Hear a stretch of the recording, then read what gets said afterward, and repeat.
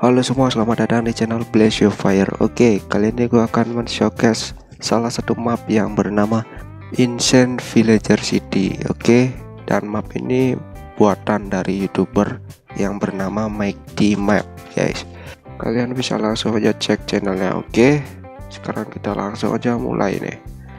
Nah, pertama-tama kita berada di atas sini dan ini ada pesan-pesan dari sang kreatornya, guys. Kreator map ini ya map by make the map dan cek YouTube have fun oke. Kita mulai sekarang. Di depan kita ini sudah ada villager yang sudah ditembokin guys. Sudah sangat aman lah ini ya. Pertama-tama kita mulai dari sini karena pintu masuk yaitu dari sini coy. Oke nice lah ini ya. Dan ini kok bolong nih. Gimana nih maksudnya nih? Apa kita harus parkour oke lah kita parkour dikit. Anjir nggak bisa coy. Oke dan sini ada redstone banyak nih untuk apa nih? Oh ternyata untuk di jembatan itu coy. Ada yang bergerak.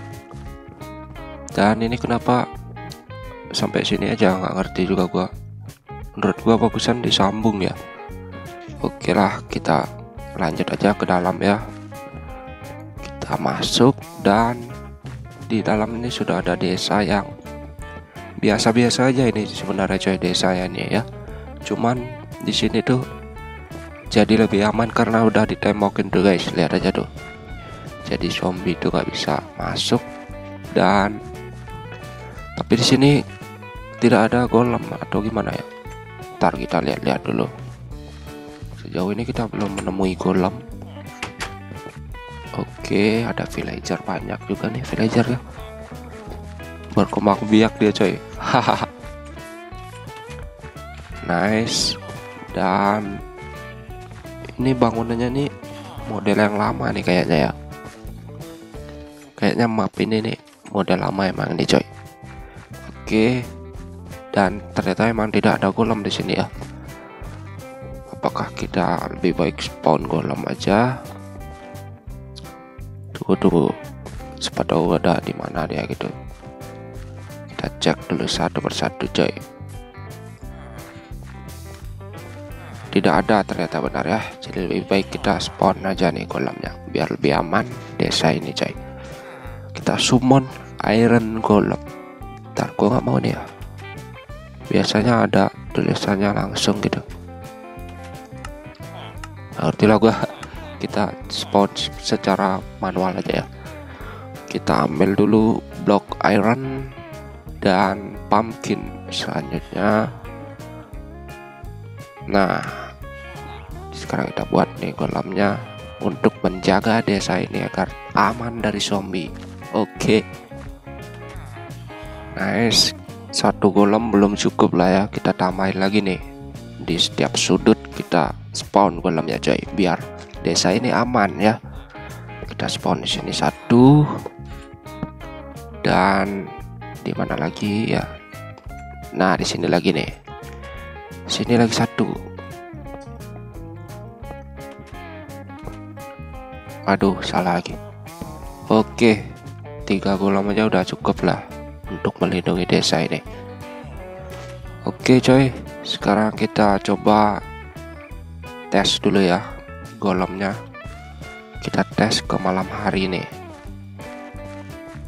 Kalau malam hari kan banyak zombie tuh.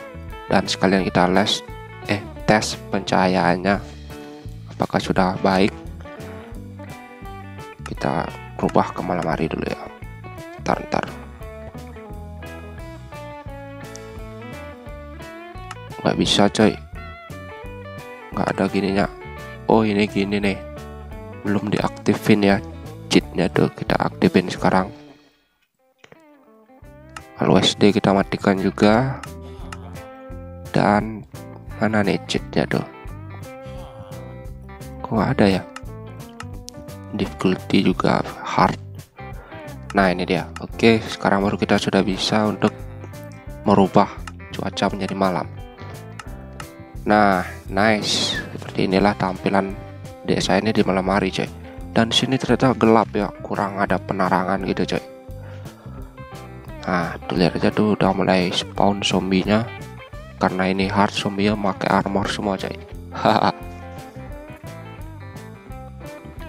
oh tuh udah ada yang gelut tuh sama golemnya tuh. Ini dikejar-kejar lagi nih. Kok kosong golemnya di sini? Kurang nih golemnya deh eh masuk gue masuk ke rumah. Ngapain lu? Di luar lu bego banget. Masuklah bego.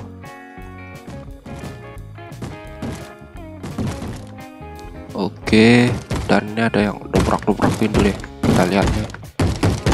Gimana kah dia menghancurkan pintunya? Anjay haha. Karena ini hard jadi zombie itu bisa ngancur pintu guys. Oke mungkin di lain waktu gua akan perbaiki lagi map ini agar lebih bagus lagi. Dan gue juga tertarik nih coy sama mapnya ini ya. Untuk main survival juga bakal seru nih kayak ini. Nanti kita coba ya perbaiki dan kita tambah sedikit dengan addon-addon yang bagus ya. Biar seru mainnya coy. Oke cukup sampai di sini saja dulu video gua kali ini terima kasih untuk kalian yang sudah menonton dan jangan lupa kalian like, comment, and subscribe. Sampai jumpa lagi di video selanjutnya. See you later and bye-bye.